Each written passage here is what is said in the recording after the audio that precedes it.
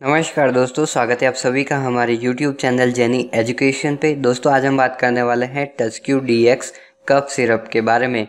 ये जो दोस्तों कप सिरप है, इसके क्या उपयोग हैं? बेनिफिट्स क्या है? साइड इफ़ेक्ट क्या है?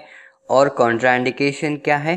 पूरी डिटेल से इसके बारे में हम जानेंगे। कौन कौन से बीमारी को ये ठीक करती है? डिसऑर्डर डिज़ीज़ को ये ठीक करती है? और पूरी डिटेल से इसके बारे में हम जानने वाले हैं। सबसे पहले बात करते हैं, इसके क्या उपयोग है बेनिफिट्स क्या है? तो दोस्तों, अगर हम इसके यूजेस की बात करें तो सबसे पहले जो मेन इसका यूज़ है, वो सूखी खांसी के लिए होता है। अगर सूखी खांसी हो रही है तो उसके लिए ये बहुत ही यूज़फुल है। सूखी खांसी के ट्रीटमेंट में इसका यूज़ होता है। दूसरा दोस्तों, सर्दी ज़ुकाम की वजह से अगर नाक बंद है, कान बंद है नाक से अगर पानी आ रहा है, बहती नाक, यानी नाक से बार बार पानी आ रहा है तो उसके ट्रीटमेंट में भी इसका यूज़ किया जाता है। जैसे कि बंद नाक से अगर आप परेशान है, सर्दी जुकाम, और अगर कान बंद है, कफ आ रहा है, जैसे कि ड्राई कफ आता है तो मेनली ये ड्राई कफ के लिए यूज़ होती है, ये जो कफ, सिरप है, ये ड्राई कफ के लिए यूज़ होती है।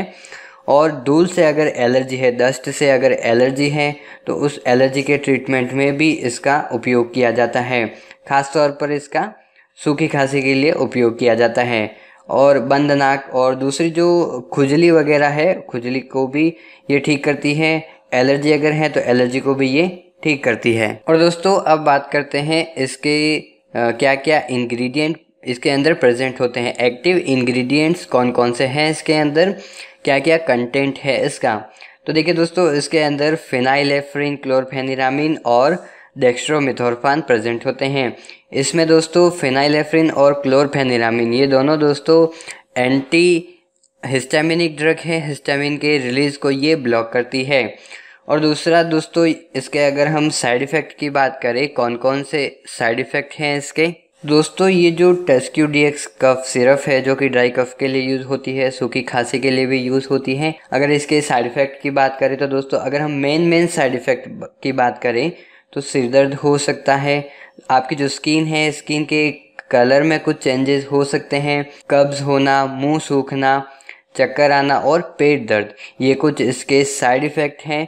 और दोस्तों, जैसे कि गला सूखना और भूख कम लगना, नाक बंद, ये इसके साइड इफ़ेक्ट हैं। दोस्तों, अगर हम इसके शेड्यूल की बात करें टच क्यू डी कौन से शेड्यूल के अंदर आती है तो दोस्तों, ये शेड्यूल जी के अंदर आती हैं। और दोस्तों, बिना डॉक्टर की सलाह के इसका उपयोग नहीं करना चाहिए। एक बार डॉक्टर से ज़रूर कंसल्ट करना चाहिए, वरना बिना डॉक्टर की सलाह के अगर कोई भी ड्रग आप यूज़ करते हैं, मेडिसिन यूज़ करते हैं तो कहीं ना कहीं आपकी हेल्थ पर साइड इफ़ेक्ट या फिर जो डेंजरस, बैड इफ़ेक्ट है वो देखने को मिल सकते हैं। इसलिए बिना डॉक्टर की सलाह के कोई भी मेडिसिन यूज़ ना करें। अब दोस्तों, बात करते हैं कौन कौन से पेशेंट या लोग ऐसे हैं जो इस मेडिसिन का उपयोग नहीं कर सकते, ड्राई कफ सिरप का उपयोग नहीं कर सकते हैं। तो दोस्तों, अगर कोई ऐसे पेशेंट हैं जिनको एंजाइना है, हार्ट से रिलेटेड अगर कोई डिज़ीज़ है hyperthyroid coronary artery disease, sugar, काला मोतियाबिंद, थायराइड या फिर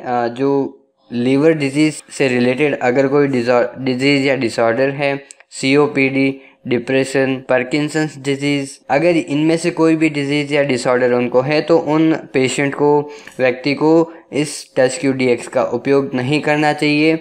उनको यूज़ करते टाइम सावधानियाँ बरतनी चाहिए और एक बार डॉक्टर से ज़रूर कंसल्ट करना चाहिए इसके बारे में। अब दोस्तों बात करते हैं इसके स्टोरेज कंडीशन की। टस्क्यूडीएक्स जो ड्राई कफ सिरप है, इसके कंडीशन कौन कौन सी कंडीशन या कौन कौन से टेम्परेचर कंडीशन पे इसको रखना चाहिए? स्टोरेज कंडीशन क्या है इसकी? तो इसको बिलो थर्टी डिग्री सेंटीग्रेड पे इसको स्टोर करके रखना है और लाइट से बचा के रखना है इसको। तो दोस्तों आज हमने बात की Tusq D X dry cough syrup के बारे में।